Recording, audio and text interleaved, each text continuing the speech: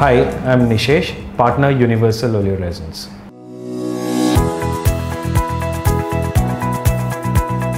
Universal Oleoresins is a company which started in 1981 by my uncle. We are the second generation, me and my brothers uh, who are running this business. So this is a company where we manufacture extracts of spices.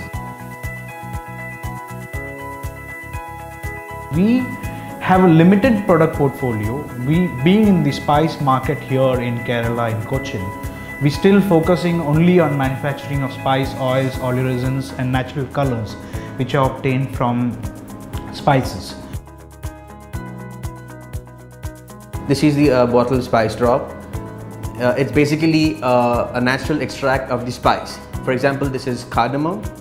So this is cardamom in liquid form. So what we do is we crush the spice, take out the extract and this is the concentrated form of the extract. You just need to add one drop to your food or beverage and you get the complete uh, aroma and the uh, freshness of the spice.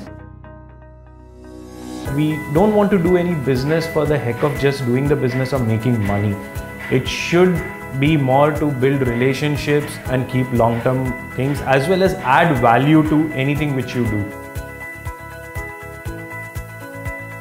When I joined, Spice Drops was already existing and it was selling in the market as our product, but it did not get the right attention that it required. So we decided to, you know, focus on uh, distribution, focus on proper channel distribution of the product of Spice Drops, developing the brand well, and making it available pan India.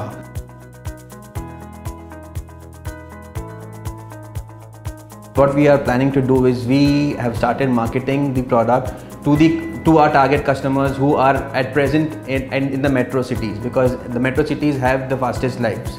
So uh, our first target would be the metro cities and obviously the online market because the younger generation prefer uh, shopping online.